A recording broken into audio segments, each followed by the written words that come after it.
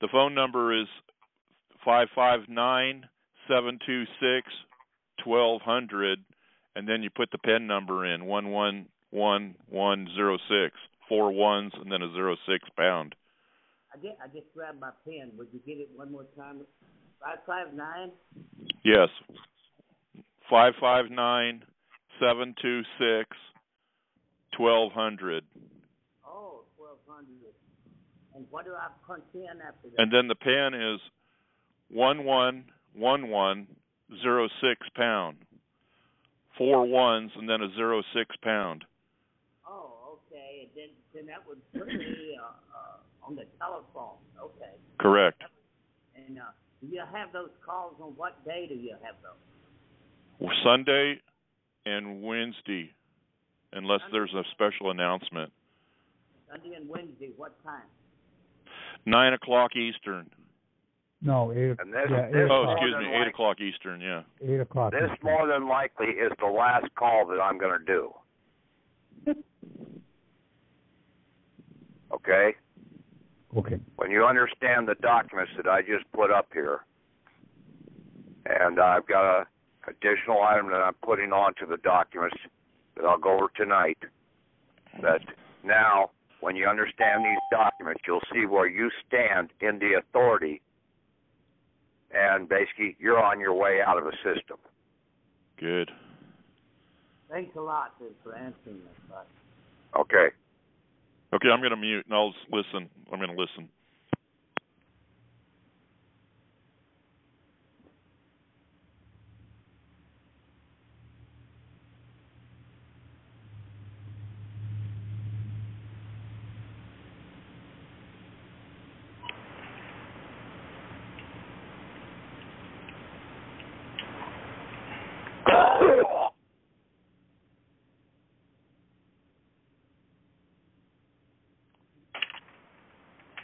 No, we've got six on now, Patrick.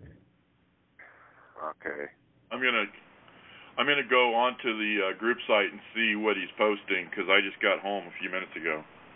Yeah, I just Tom? posted a note. I just posted a note over there. Uh, you posted four up there this morning, right, Tom? Yes. I actually did it in two versions. Uh, when I um, run it through character recognition, uh, Adobe Acrobat turns your flowchart sideways. So it, uh, I did it one uh, with the flowchart sideways, so it's easier to read, and then one with the flowchart the, the other way, so it's easier to print. Yeah, it should be in uh uh what the hell is that? Uh, page layout orientation. It should be in landscape. Yeah, that one. Well, when it came to me over the fax, it was all portrait mode, turned sideways. Uh it should have been uh yeah, Well, it should have been portrait mode, uh but it really is uh laid out in landscape. Right. Uh, but when it comes across, it's just landscape. But when I run it through Adobe, it turns that one page into landscape. The Yeah, you can't do that. portrait. That's why I told you you should have just uh printed that out, clipped off the top, and then just put it back in as a PDF. Okay. Okay.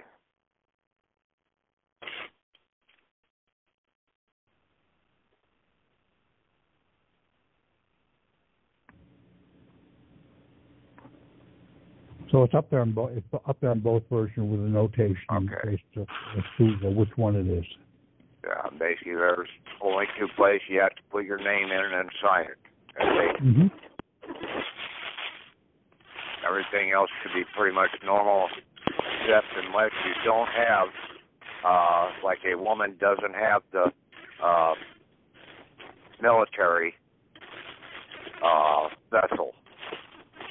They would only have two: the church and the state. Right.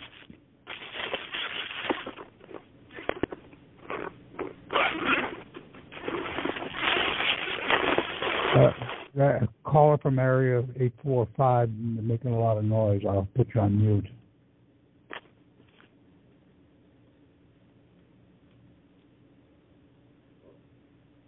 How many Okay. you got on there now? Uh, it's the same set, seven. Okay. Uh, Ray's trying to get on, but uh, I understand this problem. okay. Well, give him a little time here then.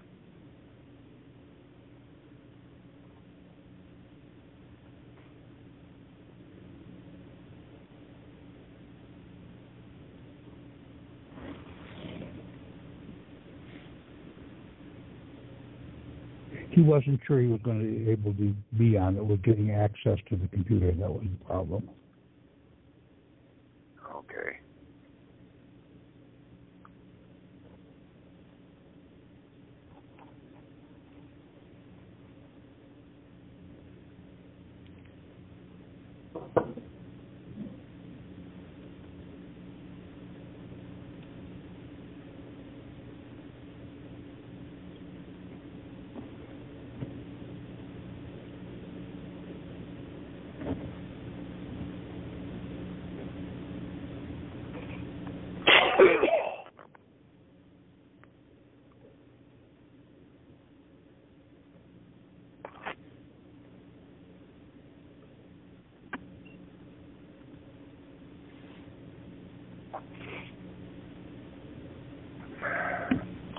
Okay, we might as well go ahead and start then. Okay, Yeah, it's Hopefully you we've got guys- recording. you got it going? Go ahead. Yeah, the recording's already on. Okay. Uh, basically, hopefully, you guys have these documents pulled up and are looking at them. Okay. Uh, the one that uh, basically has uh, going to uh, the U.S. Federal District dash U.S. Marshal Baileys. Okay, that document. Uh, I had Admiralty Puppeteer in there twice. Okay? You have to know what admiralty really is, and it's not what all the law dictionaries say. There's more to that admiralty. Just like the word American uh, doesn't say everything what an American is. A mayor is a prince or of a sultan, a king, or a god. I, individual, can, one who has understanding. Admiralty is broken down somewhat in similar capacity in that Admir is basically the prince of the sultan, the sovereign, or whatever, and then operating in uh, the sea of commercial commerce. Now, whatever the sea is, uh, or not in the sea of commercial commerce, but in the sea of commerce. Now, whether you have it in the commercial commerce seas, and that is maritime, when you're under maritime commerce, that is commercial commerce. But the admiralty, the emir, the prince, is the one that has jurisdiction in those uh, seas of either commercial or uh, straight commerce. And that's what admiralty really is. You have to go into some old, uh, I don't know whether it's in Webster's uh, big, thick dictionary, but I found it in uh, Oxford Universal 1933 dictionary. You have to learn how to break these words down. I've tried to tell you that before. So, I added into the additional items down below. This action is based on the following. And then number four, additional documentary evidence. Documentary evidence is That's the word, right? yeah, any uh, recording, writing, or other uh, item that can be presented as evidence, and the thing itself speaks as the witness in a case. That's what documentary evidence is. and I listed the Bible, Moby Dick, and Mutiny on the Bounty. I also now added the Merchant of Venice mm. because basically the prince is the one that is sitting in charge of that court that is going on in the Merchant of Venice. And you are the Prince of America. You, the living. And you are the puppeteer over your puppet, your corporate soul person. So, underneath the executed uh, by the uh, present master of the vessel, my vessels, I put an additional line down there and said, under the American Admiralty, start over again, under the American Admiralty puppeteer's signature and seal of authority by wine. And then I put Mr. Patrick semicolon divine. I will put my thumbprint and my, uh, uh, since I am an embosser, I'll put in on there too. Now I have just sealed this document. Concurring that I am over my puppet, that I have as the master of my vessels, or of the vessels.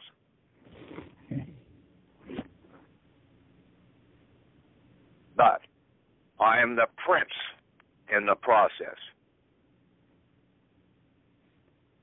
But we have to give the authority, and that's where we stand over, and even on the faxes that I'm sending into uh, the Federal Maritime Commission, the Federal District Court, and uh, to the U.S. Uh, Marshal uh, Department of Baileys. I'm going to put down below there where I had executed on and then executed by. Below that, I'm going to put my under American puppeteer signature and seal of authority by, and then my name, the man's name, okay, the living man's name, Mr. Patrick, which is also my fictionary, uh, or not my fictionary, but my real uh, person, man, son of man, son of God, whatever, because my God is my spirit. My spirit of understanding. I have my own God. Everybody has their own God.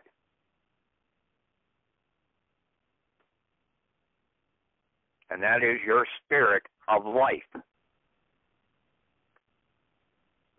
You all have different understandings and everything else, but you're all basically classified as a prince or princess of America.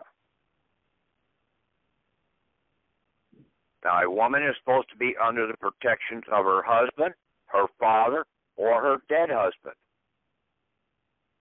But they have expounded and allowed uh, assets to go out so that they can pilfer these assets away from you in the maritime system.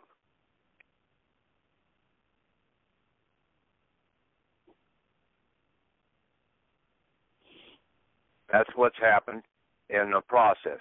And then women don't understand uh, the commercial uh, system out here really any better than most men do but they've lost their protections that they used to have. Now you have to fight for your protections.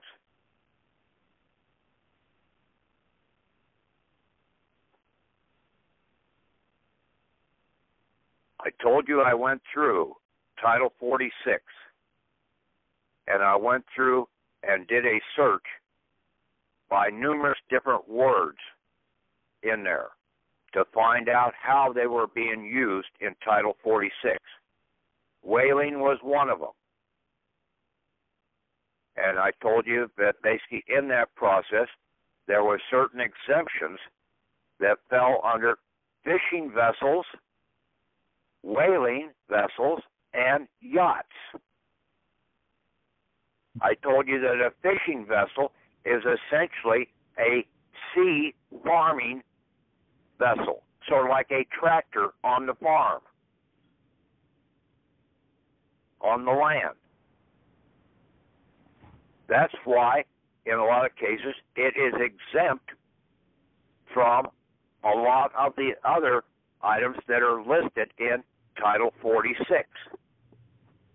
The whaling vessel, there is no whaling fleet in America.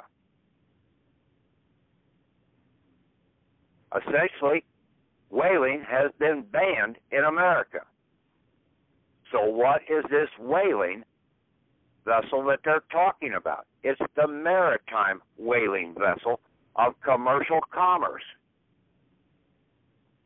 that is going out after the living man and woman as the whales in the sea of commercial commerce. And then yachts are normally in the private. They're normally private recreation recreational vehicles or vessels. So that's why those three items are exempt from most of the seagoing rules and regulations that are in Title 46. But you have to look at when that is being used as an exemption in there because certain things do apply. And that's what basically the trickery is, is that they've hidden those in the process.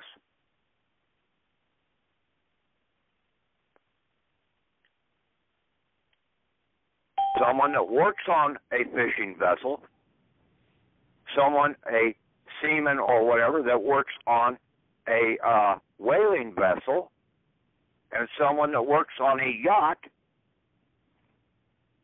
is entitled to their wages.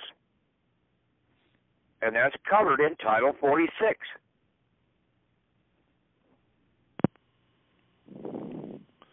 But other items are not covered under for those three vessels. They're exempted from them.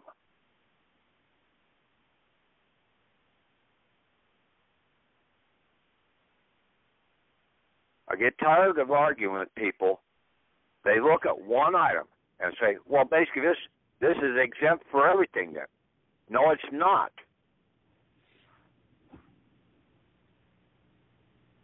And then people haven't taken the time to even listen to the calls that I've made that I've tried to explain this to people. They haven't read the definitions that I posted up there to try and understand them.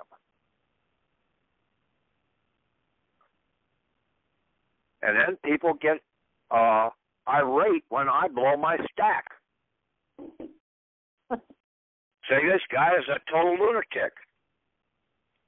No, I'm just pissed. And there's a big difference.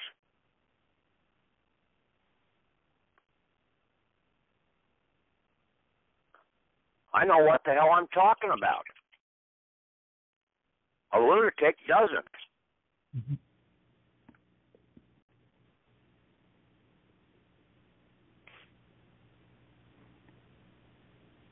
You can turn around and put these things in, and when you come in with the right authority, you're going to have and get out of the system.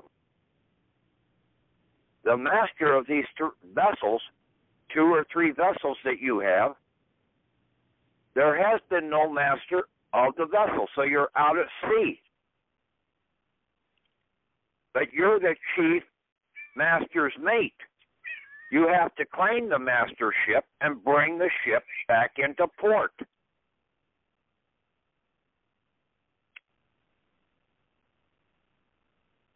That's what one court told this one person. You're still out at sea. Hmm. He didn't understand it. I tried to explain to him. But then he gets off on other tangents and starts rambling and doesn't understand what the hell I'm saying. And I tried to explain it to him and told him, hey, you got to listen to the calls.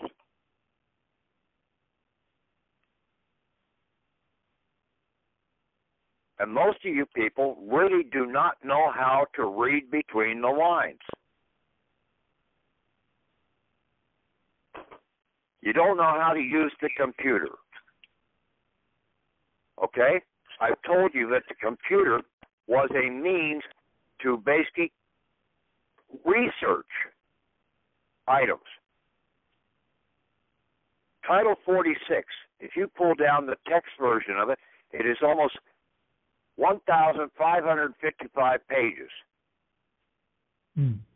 You're not going to sit there and read that whole damn document and understand it because there is, and I've tr- taken the sections and pulled out the statute part of it out and had Tom post some of those up there in the form of maybe three, four, maybe even up to eight pages. Well, if you had all the rest of the garbage that was in there, the history and uh, everything else that was listed in there, it would be 30, 40, 60 pages.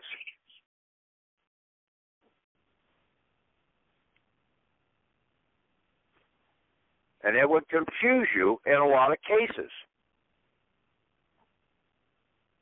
So I tried to streamline some of this stuff down for you.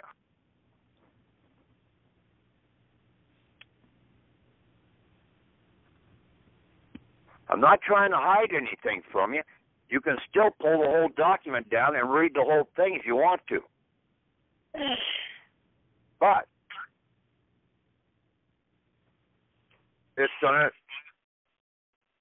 since I know you really don't know how to read between the lines because most people can't even read the Bible and understand what it means.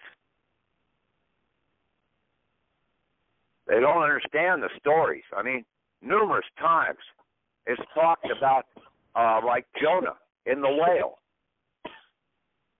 being swallowed up. Well, he was swallowed up into the sea of commercial commerce. He had to come out of it. Hmm. And that's what the rough seas are.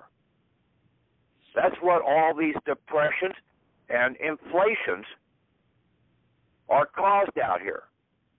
The unemployment and everything else is caused by the bankers using commercial inflation and deflation. Hoarding the money and putting the money into circulation at different times to control the people.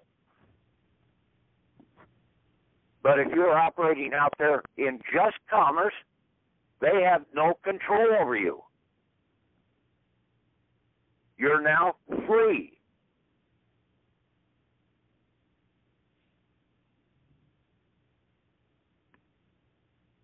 And you will be free once you take control of your vessels and liquidate them, just like in the movie Wizard of Oz. The wizard says, Oh, you liquidated her. Hmm. Well, a vessel is called a her.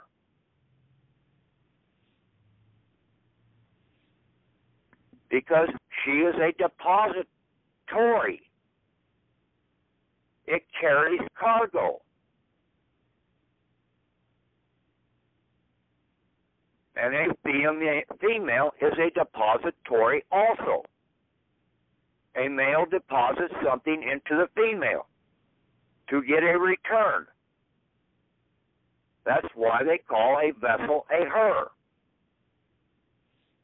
The Wicked Witch of the West and the Wicked Witch of the East. But see, Dorothy only had two that she had to contend with. Because she wasn't in the military.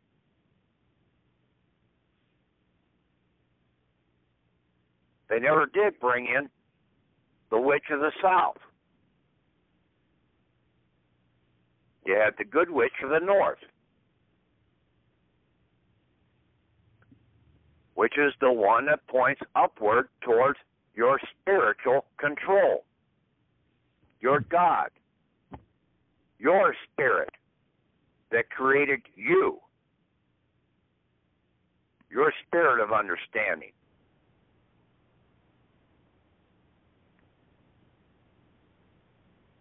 You see, Dorothy was a female. She only had two vessels to worry about.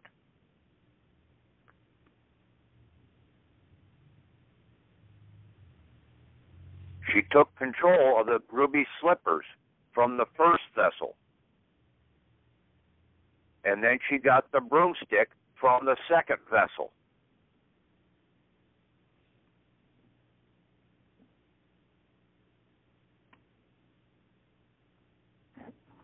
Moby Dick basically was written in 1851 prior to Lincoln taking office. And I forget Buchanan, I think, was before him. And see, they both knew what was coming about. They tried to put barriers up against what was getting ready to take place this whaling that the European monarchs and the bankers were getting ready to do. They tried to put some buffer zones in there. They kept it in a buffer zone situation until 1887 uh, when they brought uh, liability insurance into this country. And then under Roosevelt, uh, or under uh, Wilson, they started bringing in the Federal Reserve Bank into this country.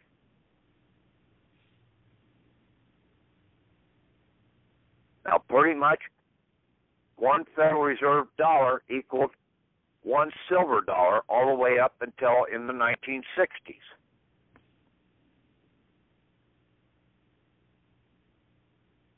And then Nixon basically took us off the gold standard and all hell broke loose in the monetary system, in the inflationary system out here. And basically, they started the wages for the people really went down. It did not go up. When you figured in the conversion factor of Federal Reserve dollars to one silver dollar.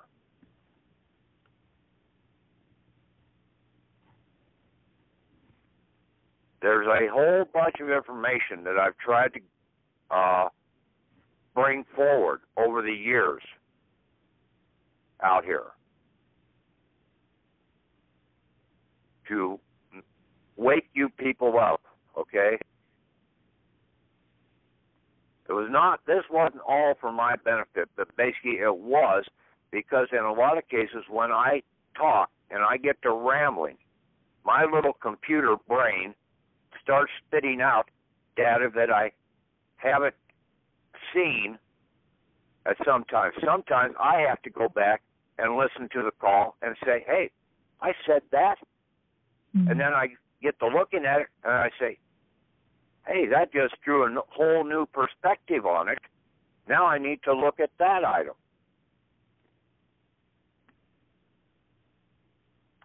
Just like the other night when I said that basically we send this into the chief judge, who we thought was supposed to be the master of these vessels for the district that we're in.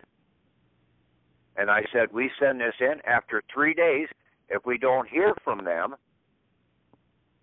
then we go to the Maritime Commission and tell them that we are assuming the position of master of that vessel.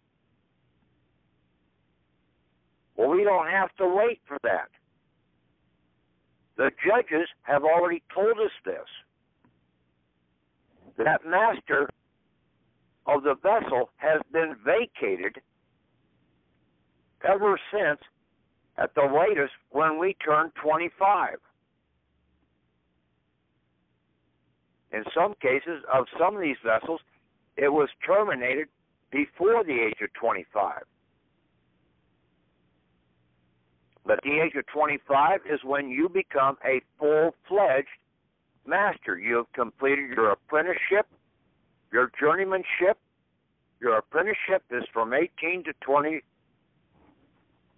from birth to 21 in the state system. In the religious system, it is from uh, birth to 12 years old.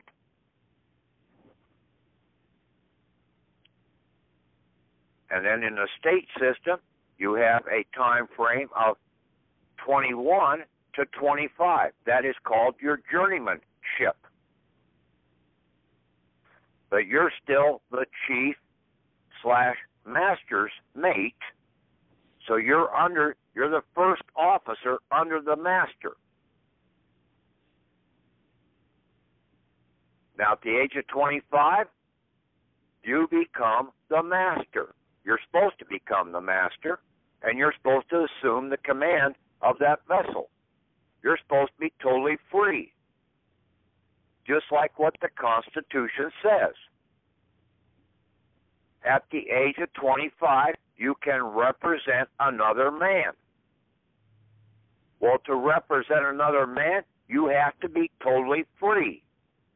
You cannot have any outside influences to control you. So basically, all these representatives that are out here in Congress and everything, they're not free at the present time. They're all controlled. They've never claimed their vessels. They're paying income taxes. They have Social Security accounts. They're in the maritime system. They have licenses. They they are a numbered individual. So they are not in the master's position. A master does not have a number.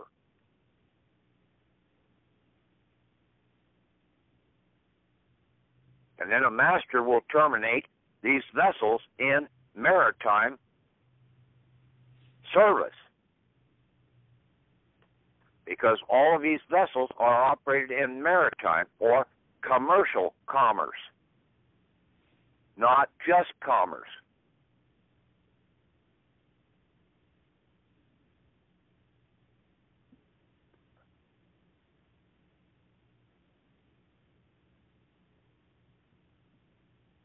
And basically, we, as the living Son of God or Son of our Spirit, or Sultan or whatever. We are the prince, the emir, the emir.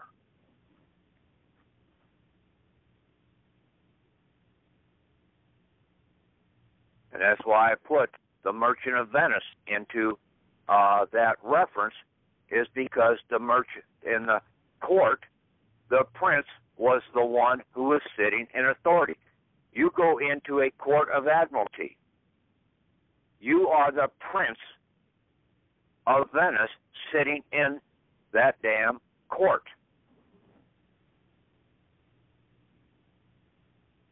But you're the prince of America sitting in that court action.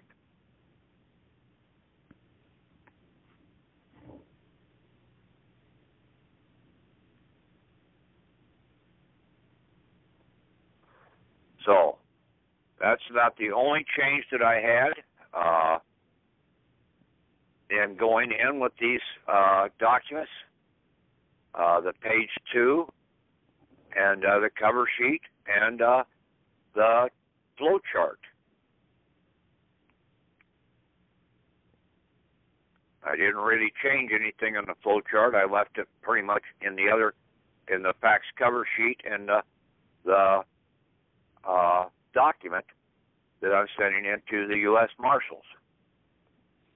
That page two.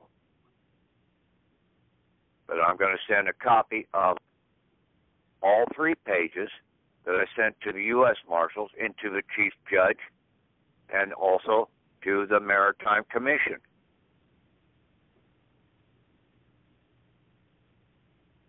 We stand over them. They're all elected or they're appointed officials. They're public servants. We're the prince of the land. We need to start acting like it. But we are the puppeteer over our puppet, who is the commercial or the corporate soul person.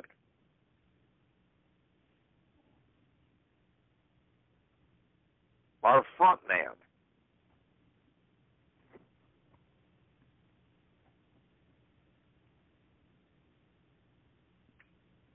Then we will have basically Admiralty slash Maritime protective documents Right. issued for Admiralty free and safe travel, harbor, and commerce trade, not commercial commerce, because we're going to get the hell out of that damn system. That is an enemy to anybody that is uh, out here.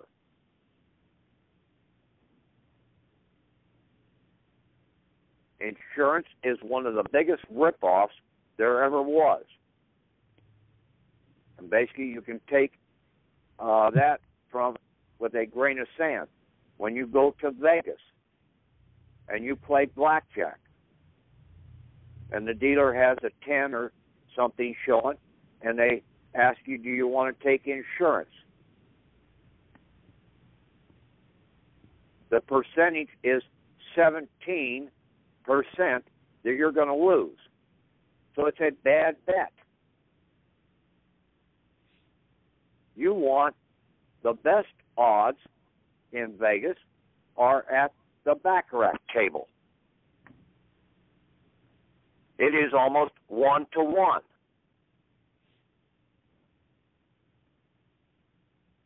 The bank gets a little better rate on it, but you have to pay a VIG or a commission if you're betting on the bank.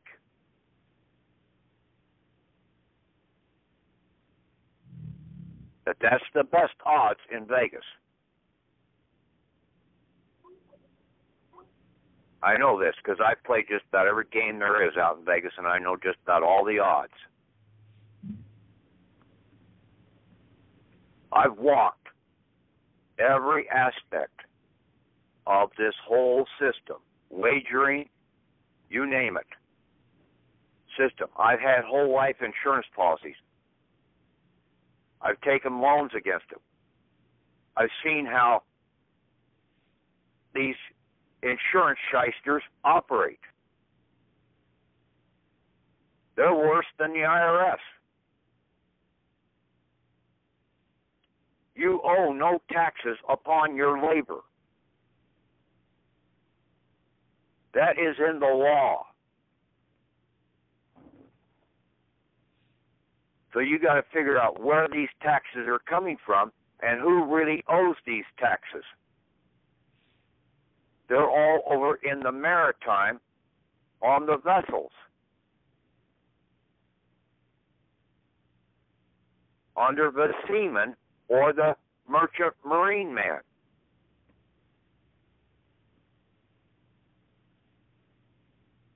They're the ones that are owing the taxes. That they've got bonds and everything else written against, insurance policies. The states are the biggest whores in this country. Everybody complains about the government out in Washington, D.C., but they don't see how all they're losing all their rights and, and uh, protections to the states. You have the right of free travel in this country. So where does the state get the right to come in and say you've got to have a driver's license? They don't. They're operating in total fraud. That is a mutiny against the living.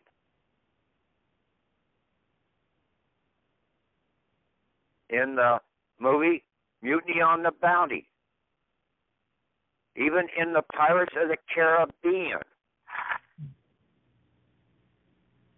Okay? Jack Sparrow was the captain of the vessel. Who committed, committed mutiny against him? His first mate. It even says that in the movie. And the first mate in all of these contracts, especially under the selective service and the certificate of live birth, is the state of. That is the whore that is committing the mutiny. Because they're trying to fleece more funds out of the seamen on board the vessel, causing harm to the master and to the master's mate, you, in the process. You're a fictional person. And then it all rolls down to you because you don't know that you're the puppeteer in the background and that you have control over this. And that's why any court case, you take it into admiralty. You never allow the state to have control over you because they're just a first mate. They're under you all along.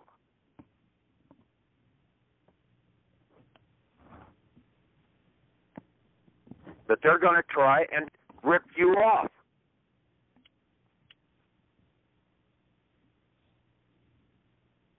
See, they were supposed to be in 1933 when this all took place. They were supposed to be turning around and getting paybacks from the federal government.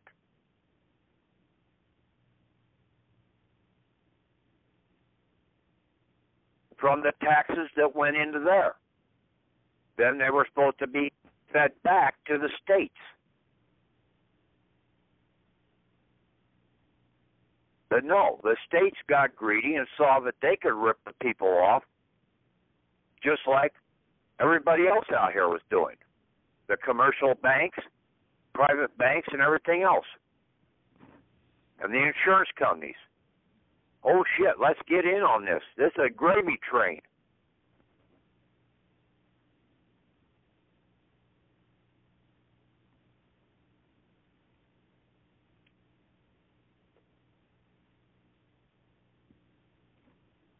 So, okay, open it up for questions. Now, I want questions. And if you don't respond in a timely manner, basically this call will be terminated. I'm not going to stick around and uh, listen to extra garbage or anything else. I got a question, Patrick. Okay. Um, on this uh, document, you are an American Admiralty of Age, you know, number two. You say that um, you have to enter as the chief master's mate of the foreign vessel until you terminate your hirings at will by waking up. The hiring at will is that something we want to terminate our hirings at will, or is that the same as the uh, summary court martial? No, forget the summary court martial. We're not going to go there. We're taking Yeah. control of the vessel. Okay. Right. Now, I figured there was a difference there. Yeah. Okay. And that uh, uh, you are the Admiralty, the American Admiralty, when of age. Okay. Right. And basically, like I said, emir and admiral, okay, are both prince. So you're the prince prince out here. Right. Both of those words are for the prince. And see, that's where we have the authority. That's why court, you take your court case into admiralty, you don't pay a filing fee because you're coming in as the prince. Right. Right. You're moving it in, and you're going to be standing in as the prince. But even though you're being the puppeteer over your puppet, who's going into the court case, because you're not down below. Okay. Right. You're going to have your puppet down below. It's all on a stage. That court is nothing but a stage. Mm-hmm. And you're standing as the puppeteer behind the screen. Right. And then the next line it says, the other thing is to put in Admiralty underscored, you know, bold letters in Admiralty at the bottom of the right hand column. Is that This That's- is only if you're going into a court case, right? okay? Right. But you do you do this last stuff, and basically this is going to shut down all your court cases right. because you're going into the bailiffs, the U.S. Marshal bailiffs, U.S. bailiffs, Right. and all these court cases are going to be flagged against that bailiff who's over these vessels. Okay. not the bay, not wait, not the bailiff, the bailee. Okay, in the U.S. Marshals Department, there are two departments: the bailiffs, which are the enforcers and go out and do the seizures and everything, and then the bailees, which are the accountants, Okay. and that's the one who is holding our uh, cargo. Is the bailees. Right. Yeah, that's key information right there. Yeah. But see that uh, you are the American Admiralty when of age. That document is uh, basically what over a week old or so, and I've changed several things. Okay. And see, uh, we were as hirings at will. And see, we did not have a total free will until we wake up at the age of 25. We're supposed to have free will. Most people out here still don't have free will. Hmm. They're all being controlled either by family, by government, or by uh, the religious groups, or by uh, uh, friends and neighbors. Right, even they don't have free will. They're being controlled.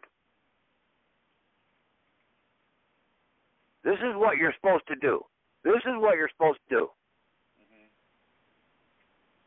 No, that isn't giving you free will. You have the right to choose what you know is right and wrong. And 90% of what they're telling you is totally wrong. Because they have no real understanding of what really is right. They just been they believe the lies. Right. They want you to blend in with the herd. Yeah. And basically the herd is going over the cliff into the Grand Canyon. Right. It is.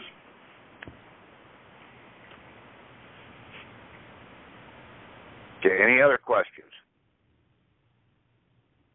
Uh, the, your puppeteer signature, there's no need to put that on the flowchart page. No. I'm not Okay. I didn't have enough room to put it on there, so I'm not gonna put it on there. Okay.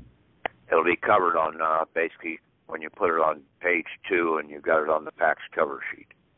Okay. Very good. Thank you. the flow chart's basically a simple, uh, pretty much a simple statement of understanding. Really explains things well. I tried to lay it out so that I had the understanding, and then I hoped that other people would uh, see what I was talking about.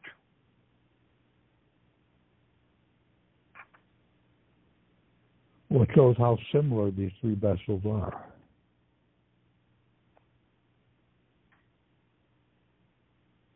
And then when you see and read the different things and listen to uh, different sections of the Bible, uh, the Old Testament primarily, and even some of the New Testament out here, uh, then you can see the correlation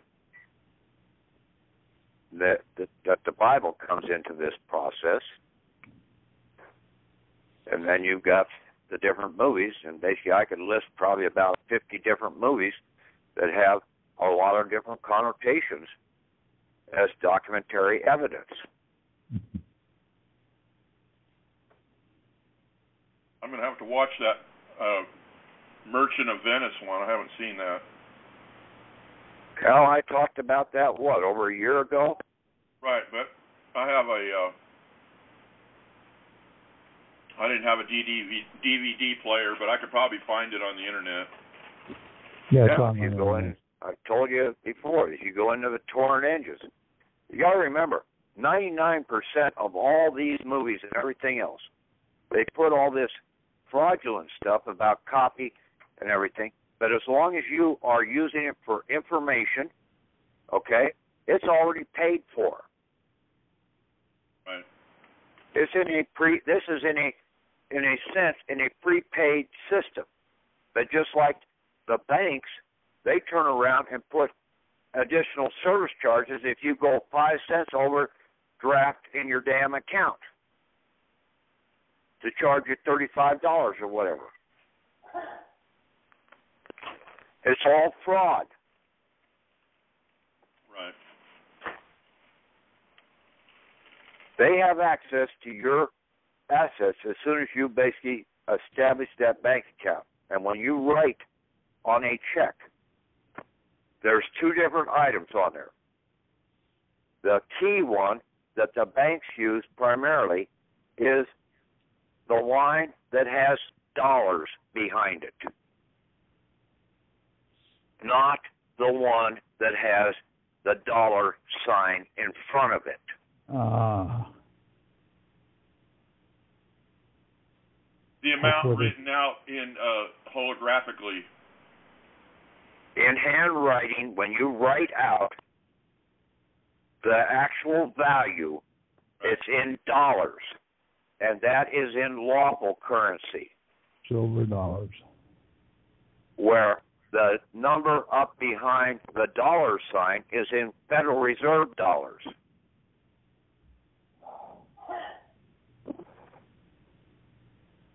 So you're allowing the Federal Reserve and the bankers to go in and basically draw out silver dollars out of your account with the handwritten section on there. And then they're only giving you an exchange rate of one Federal Reserve dollar to one silver dollar. When the present exchange rate is roughly about sixteen and a half.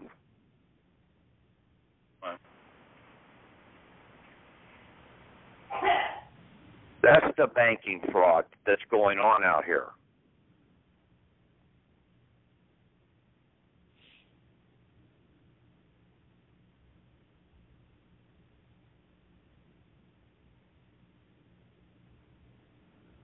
So once I get out of the system, Patrick, uh, I'd like to find out more about the Babylonian system. I don't understand that at all, uh, or not The Babylonian system is what you're operating in right now. The maritime system, Well, okay. the commercial system of insurance and fraudulent banking, fraudulent bartering. Okay. That's the Babylonian system. I was interested in the history of it when I have time to read history.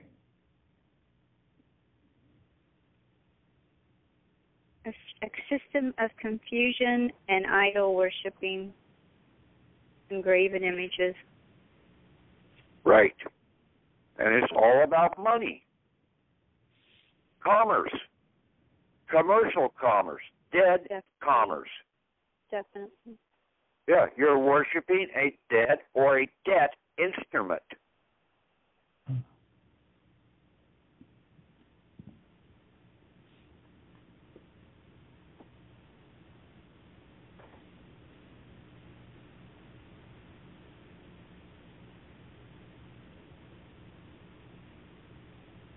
And they changed the languages to mix up the languages. The father changed them so because of all the idol worship and the commerce and all that. Yes.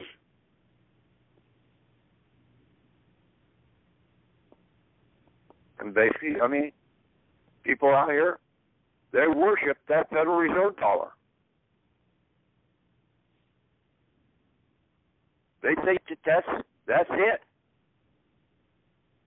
They don't realize that they're really getting ripped off constantly.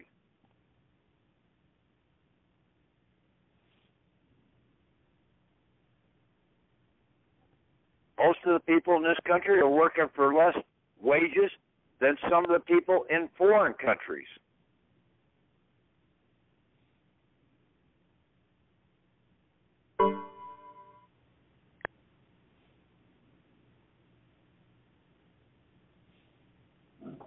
Everybody doesn't realize that hell, gasoline went in town today, gasoline's down to dollar eighty five. Most people don't realize that basically that dollar eighty five is only about uh fifteen, seventeen cents in silver dollar value in nineteen sixty value. That's what the gas wars were back in 1960. Was down to 18 cents a gallon. I think that's about the lowest I ever saw it. Might have been lower in some other areas.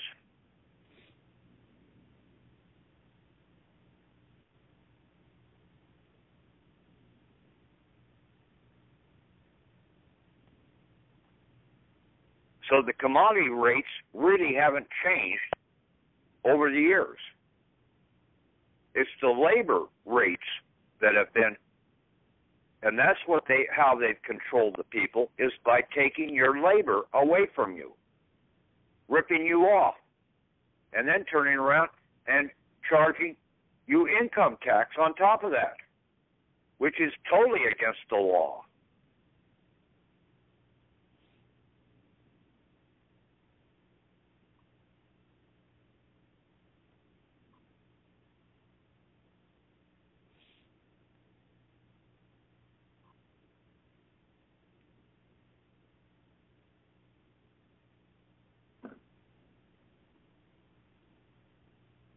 Back to the fishing vessels, okay? I told you that basically a fishing vessel on the ocean is like a farming vessel. Well, basically that term also applies to the land. That farming vessel is a fishing vessel of the land. Hmm. You're pulling your catch out of the land. So you're fishing on the land. That's what a farmer is. He's a land fisherman.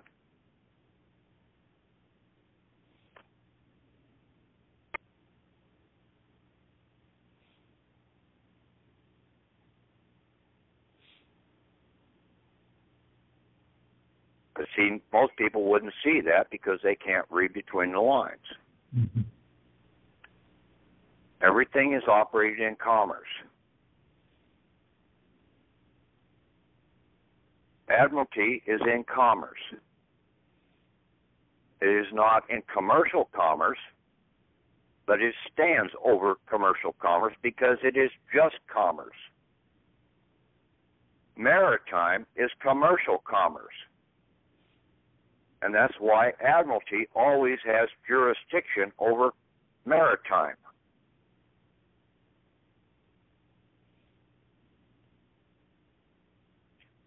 The just always rules over the unjust.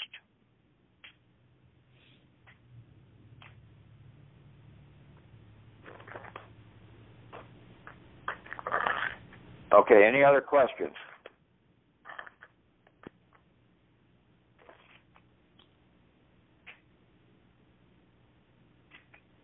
Yeah, guess not, Patrick.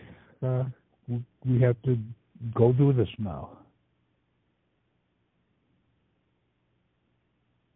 Okay, well, hopefully people listen to this damn thing. Right, right. But this Mhm. more than likely is going to be my last call because Oh. I know this time for sure when we claim and claim our mastership, and we pointed out the difference between that we are not the puppet, that we are the puppeteer behind the scene, pulling the strings for our uh, puppet, then they have no uh, claim over us. And we will bring our ships into dock and offload their cargo, Okay.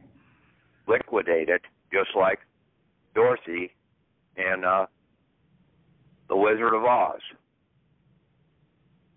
But I mean, you can go into Peter Pan. They see that had vessels in it. Pinocchio, okay? Pinocchio is a good one because that's the puppeteer. Until basically little Pinocchio basically woke up, he was being controlled.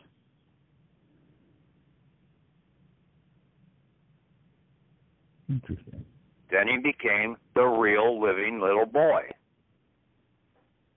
He was always there, but he was in a puppeteer controlled environment.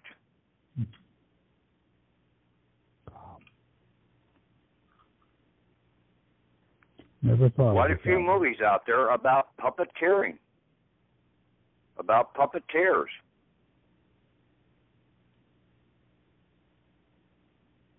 Quite a few movies out there, documentary evidence about the vampire system. That's what I mean. I could have listed 50 different movies or books out here at a minimum. Really, I could probably go up to about 5,000 if I went and looked at all these things from the, the different aspects that they all apply to. They've been trying to put the information out to us. We have been the ones that did not see and did not understand. And then we've been listening to a lot of other false prophets and everything else running around out here, deceiving the living shit out of us.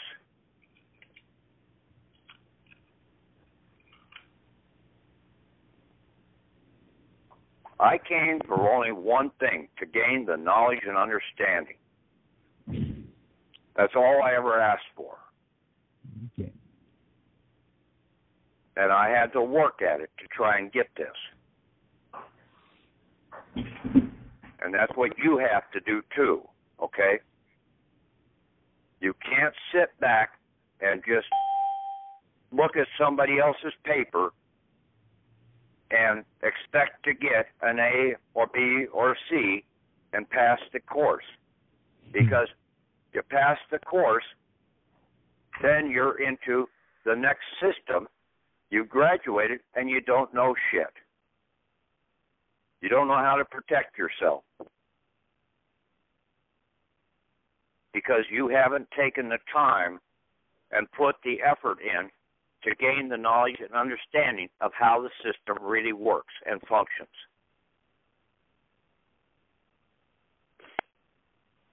But I tried to lay this all out so that you could follow the path. The man named Jesus, the puppet, Jesus, basically tried to lay the flow path out 2,000 years ago. This whole scenario.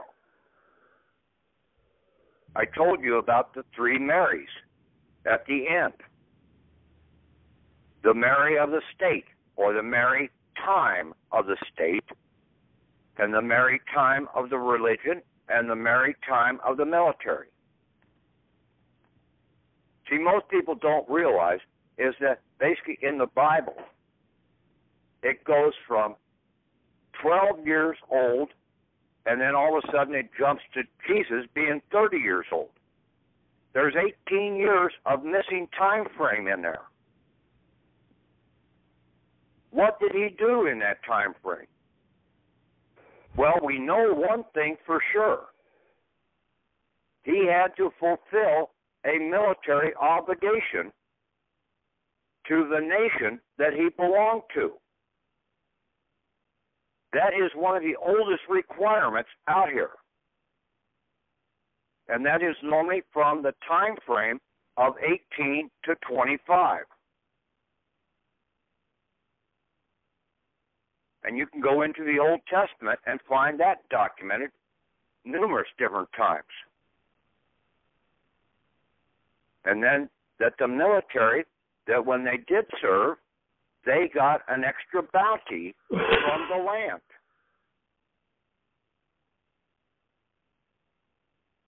They got an extra entitlement.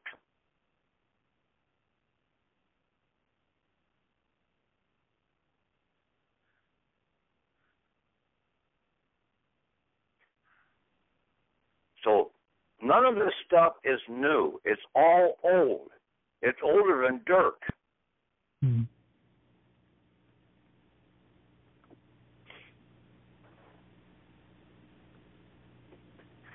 Okay, any questions? One last time. No, sir. I know you mentioned uh, the uh, the correlation between the Book of Jonah and uh, the whale and all that, and I know it, it, it's connected. It's just that we got to look at it a little deeper and look at it a little clearer.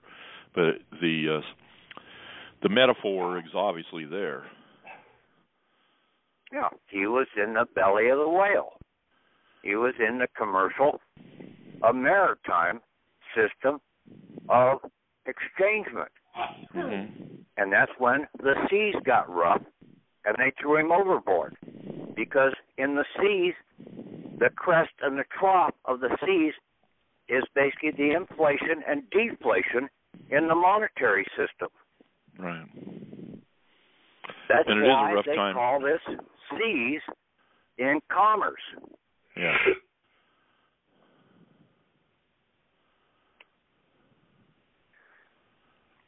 And You want and the he- calm seas of just commerce. Hmm. God wanted him to go tell the people something, and he didn't want to do it, and so he went through all the chaos and, and the belly of the whale, Yeah. all He the ups and to- downs. Yeah, he had to basically uh just like people out here right now. You have to you're going through the suffering, you know there's something wrong, but you don't know how to put your finger on it. Okay? And then basically he uh when he saw what the problem was, then he went to the king and explained it to him. And basically that's when they stopped everything. They said, We're no longer going to persi- participate in this Dead Sea monetary system. All these bankers have a false debt over you. It's false. So you stop it. It goes away. The bankers don't get anything. But as long as you keep believing they have control over you, you're giving them your labor. It's like a sit down strike, and that's basically what it was. A three down three day sit down strike. They brought the commercial maritime system to a dead standstill.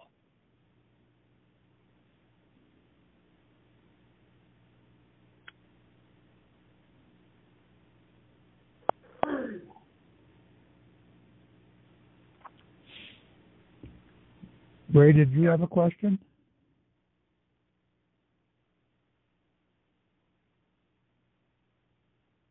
I guess not.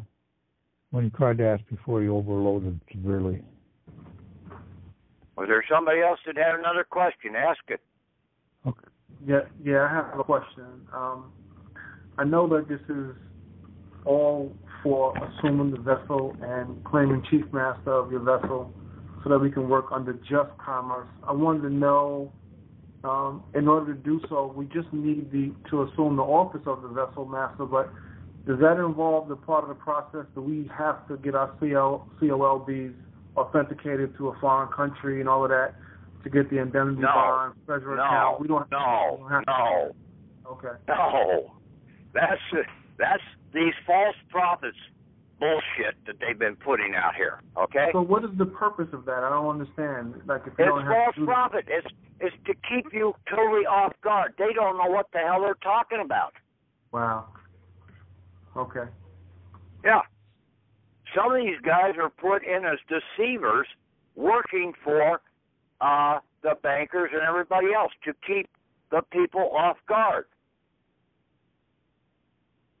They will put people into this patriot uh, movement, if that's what you really want to call it.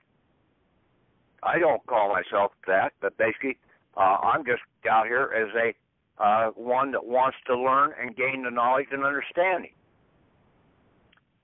But uh, these others that are out here trying to fight the system and everything, and they don't know what they're really fighting because they don't really understand the system. Yeah, we've gone down every damn different which way possible. But we had to realize that we are the puppet master behind the scene, and we have to basically put our puppet out front. See, the courts, they don't recognize you, the living, unless you come in in admiralty. And then in admiralty, you still have to have your puppet out on the stage. All right. If you don't put your puppet out there, then basically there is no show. How do you mean that? Could you explain what you meant by what you just said? Putting Your puppet out there. puppet is your commercial or your uh, corporate soul person. Okay, Right. that's Yeah, not yeah. you. Right. And see, that's the one that basically, when they put that uh, certificate of live birth, that baptismal certificate, and that uh, selective service item out there, they created a puppet. Okay. Now, you have to control that puppet. They also, at the same time, because this is a vessel, they and the puppet is basically the master's mate, okay, on the vessel, the Right. chief or master's mate. They had to create somebody who was going to uh, operate the sails and the engine and everything else on the vessel.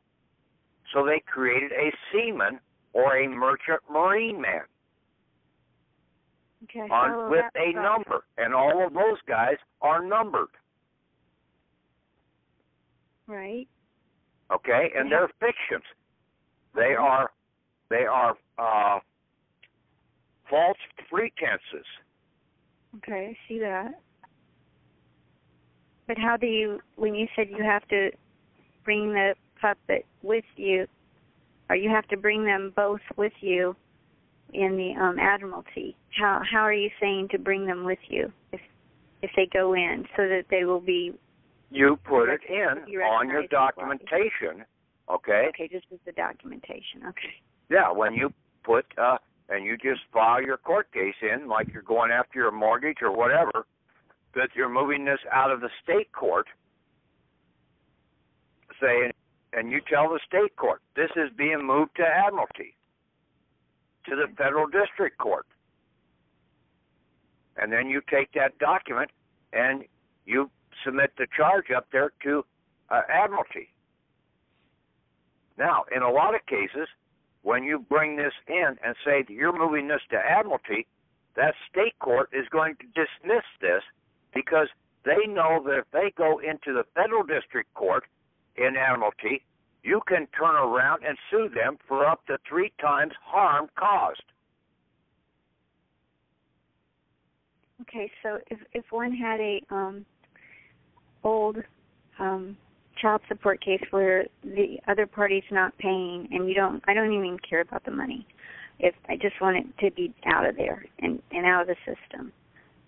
So could have it transferred over there and then how what would you You suggest? take this into this document. Now, on that page two, you would put down your marriage certificate also on there.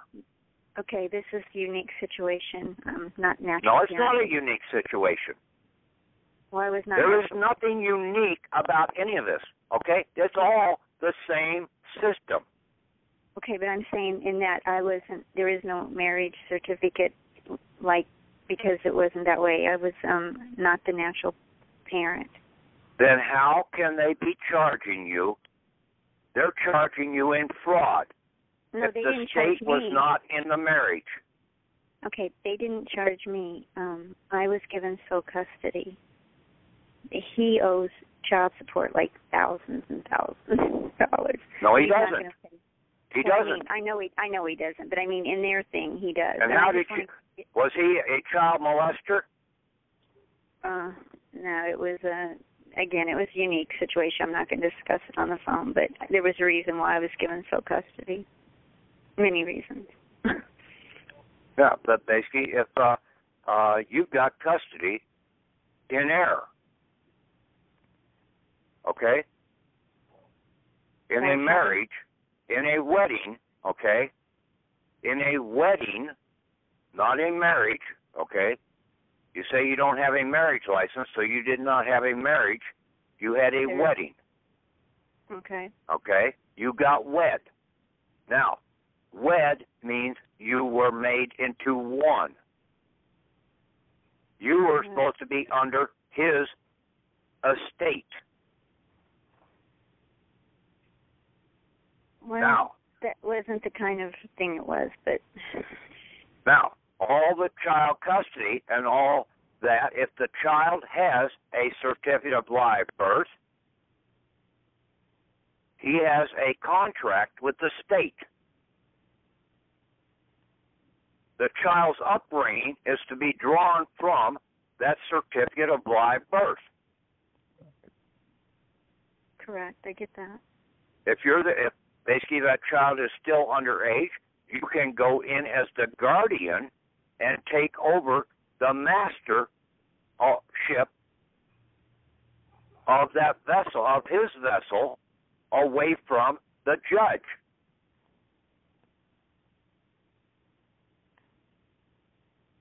You follow me? Yes. Okay? You would just turn around and you come in. If you're over the age of 25, or basically whatever, uh, you're of age, you can come in as the guardian over your offspring and take control of their vessel away from the court. The court's not going to abandon that right until they turn 21. Then they will basically vacate that office, but you can remove them from that office as the guardian. Okay, so so I, see that process, but how do you practically, you know, apply it as far as You've got to think that? about it, okay? I can't tell you all well, the I answers. mean, what I'm saying is, I see the process. I don't see how taking it from move. I I know where to move it into Admiralty. It's you just, take it to the federal district court. You write admiralty on it, and you handwrite it out and send it up to the clerk of the court at the What- federal district court. right. You don't I need a court case. Okay, you don't need it. Right. You don't have to pay any filing fees in admiralty. You are the prince or princess of America. So you don't have to carry over like the um case number and all that thing to do that. Is You would list it on there, but this is coming out of state court. but Okay. you're not coming in in civil or criminal right, situation. You're coming in in admiralty. So you could just list that and then their birth certificate um information. You don't need to put a birth certificate in there. Oh. Okay. Okay. You just need to come in and basically, uh, but in uh, the situation, like the page two that I have up there, you would just have to modify that, and that you're coming in uh, as the taking the master of the vessel of this uh, your child's vessel away from the court. hmm You have superior authority. You are the prince or princess of America. That judge is just a, a public servant. He's sitting there holding that office until you come of age.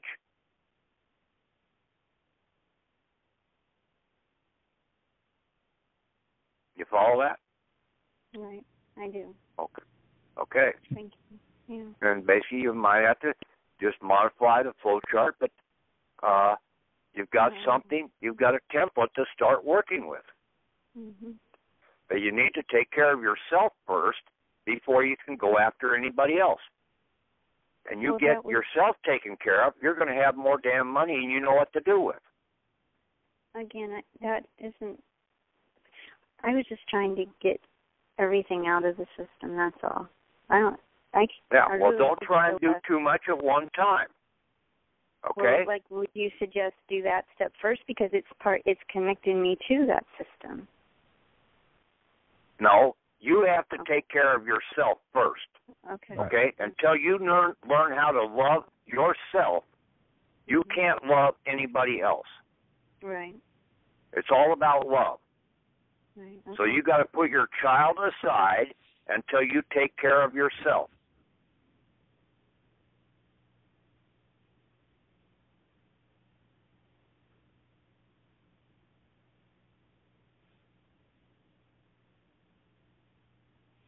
That sounds Okay. hard-hearted uh, No, from I- the lies that everybody's been told out here, but that's the true fact. Until you learn how to love yourself, you cannot give love to anybody else. And it's all about love. Right. I think I was um missing the connecting point because I I thought I heard you say, and maybe it, I misheard you. I thought you said that if you had any other cases out there to bring them over, and I thought that was part. But it's of not your case, okay? I well, Okay, that's not your case yet. That's your child's case. It- you have to clean up, and basically, when you send this in with your items, okay, to take control of your vessels, and you submit it into the Baileys, they will terminate, and you order the termination of all the uh, false pretense seamen and merchant men, crew hirings, mhm. certi- charters of demise certificates, and commercial contracts to be liquidated.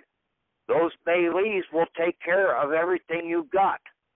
all right. I heard that before. I didn't know if that was still the case now. Okay. Yes. Mm.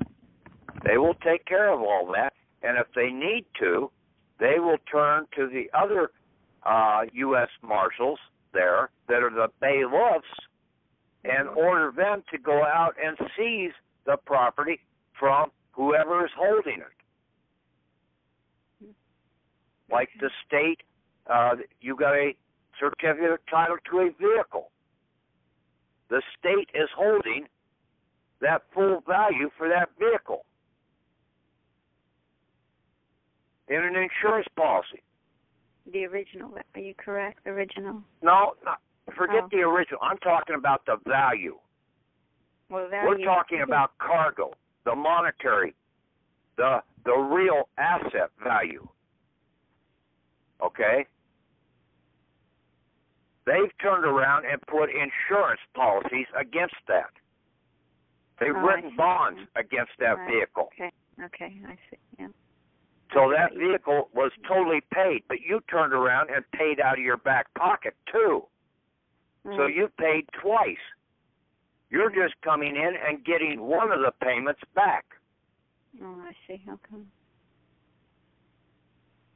And Do that will be taken care of by the Baileys when you submit and you give them that contract for the uh, certificate of title.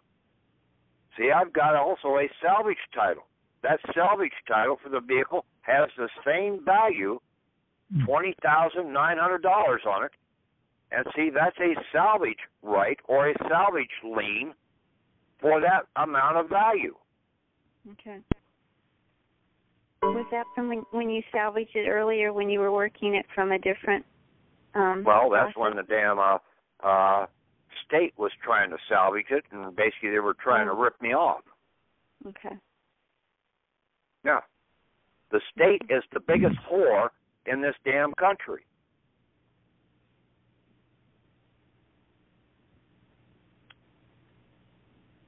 Yeah.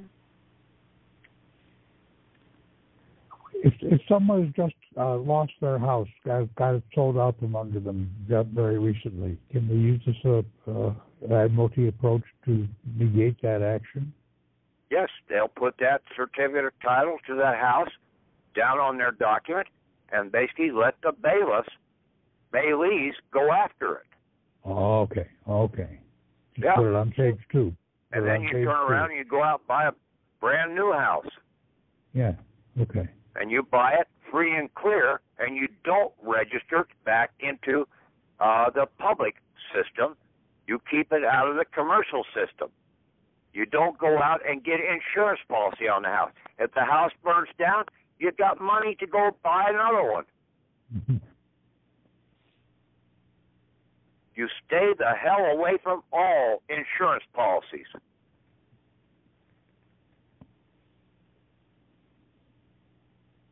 Think about it. How many houses really burn down in a year in this country? But how many how many people are paying uh three, four thousand dollars in insurance on a damn house? The insurance companies are only paying out like maybe one percent. So they're making out like raped apes. Right. So you keep all that insurance money. If you want to, just put it in a separate account off to the side, and basically, lo and behold, in about 10 years, you're going to have more than enough to buy that house over again. hmm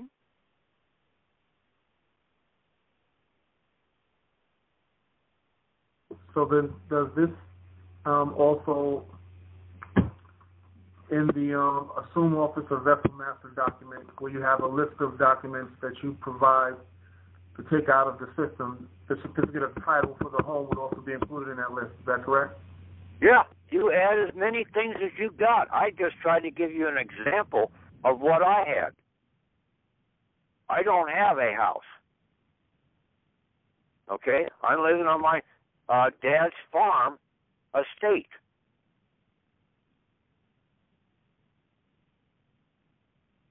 But I will go after his estate as soon as I learn to love myself first. Right. Mhm. So if people had um business license and from you know different maybe some um self-employed businesses or corporations or whatever that you're saying they will take care of that part you don't have to list that those license or per, permits or that sort of thing From a I different don't state. have it myself well no I'm just thinking and hypothetically I don't really have my own example to go by but I'm just thinking of people that I know that have like quite a few people that have their own business and they have their in um you know a license for it, the permit for it for the state. Um you know, they yes, they're going to have to try and turn that business into a private enterprise. Okay. Okay? Private enterprise is out of the public system. Right. and then you don't have you you set up your own bank account in the private. Right. Okay, but there again, I wouldn't use any damn banks. Exactly. Yeah. I would start using lawful money, and basically, uh, you can even put you can if you want to use a bank, uh, just use the bank as a safety deposit box. Well, if people research it, they can do their own um, private family banks. You can create your own family banks, or among people you trust. You can do you can use the private banks or the public banks, but just put your money into go in and buy one of the biggest boxes, safety deposit boxes they have in there. Go to the treasury and get your just barter exchangement and put it into the bank safety deposit box. You can visit the bank every day and go to your safety deposit box and take funds out of it.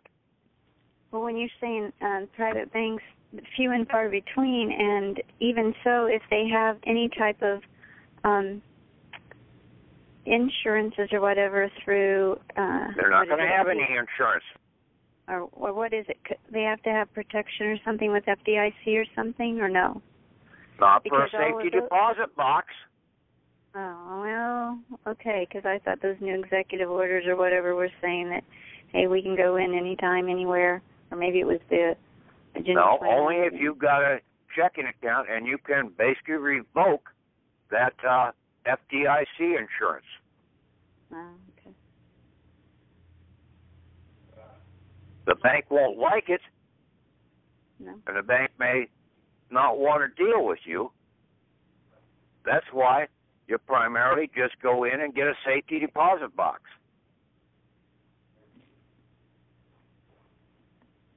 You pay for uh, basically uh, the storage in that bank. Now, some banks may want you to have an account to have a safety deposit box, but uh, I don't know. Watching the movie uh, uh, Bourne Identity, uh, the banks over in Switzerland, they just operated with safety deposit boxes. That's what initially was supposed to be set up in this country. Uh, in uh, back, I forget where in the hell I found that. That was back somewhere in uh, the 1840s, 1860s. They set up the national uh, safety deposit uh, system. Okay, in uh, D.C. and there's it's uh, still there. Okay, and uh, you could basically put your assets into one of those safety deposit boxes and then draw it out. You could put your bearer bonds in there and then take off, take the bearer bond out, draw, go down to the treasury, have so much taken out against that bearer bond, turned into a barter currency of exchange, put the bearer bond back in the safety deposit box, and then you've got your cash. See, you've got to start thinking about how real uh, commerce is operated, and it's all on barter.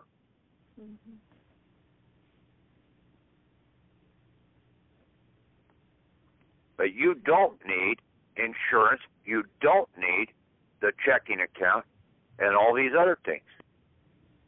There are other ways around it. Right. Okay.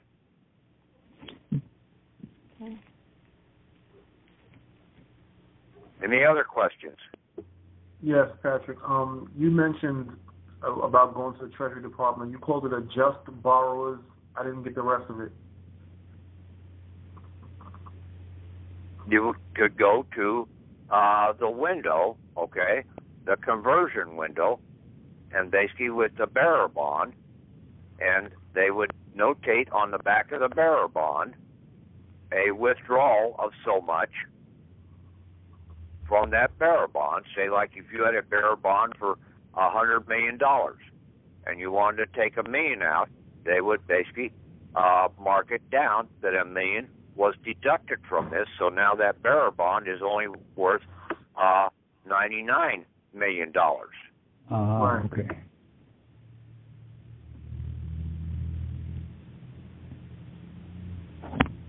and they would notarize or whatever, seal that, and then basically you would turn around, put the bearer bond back in your safety deposit box, and then you'd have a million dollars of cash to go running around. And it's debt free money because you converted a real asset because that bearer bond is either going to be in silver backed bearer bond or a gold backed bearer bond. and you're taking out a real asset and converting it into the just exchangement. And that's when they will take their tidings. Like in the Bible, all the stuff that basically they turn tidings in going to the temple, it wasn't tidings. That was the maritime or the bankers turned around and put that in there. The real correct term that they were taking to the temple was their titles.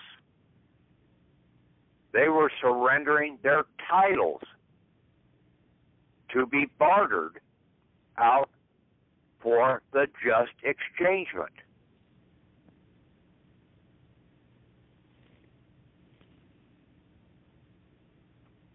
That's when all the fat and the the hooves and everything else were cut away from that uh, title to give you the lawful substance in return.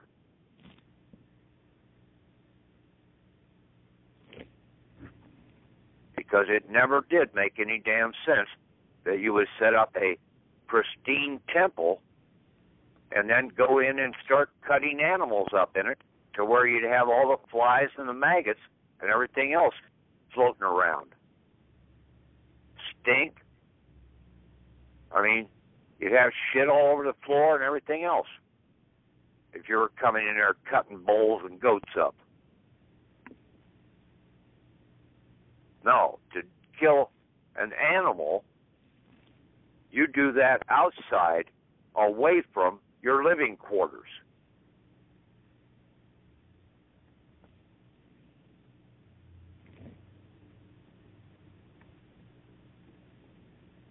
And I'm sure that they wouldn't allow you to bring a goat into the courthouse, uh, the county courthouse, or even the federal courthouse and start cutting it up.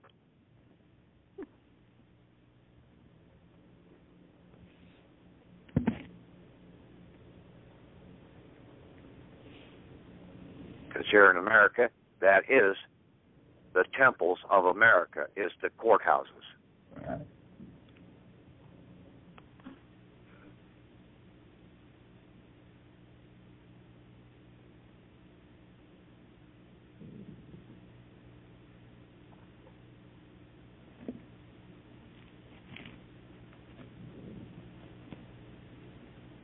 But yet they're also operating as a houseboat in the process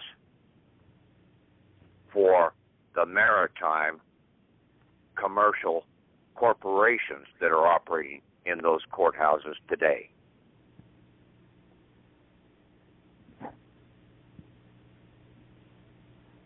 So there's more going on in those courthouses than uh, you know.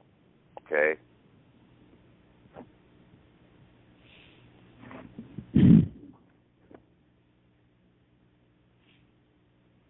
Any other questions?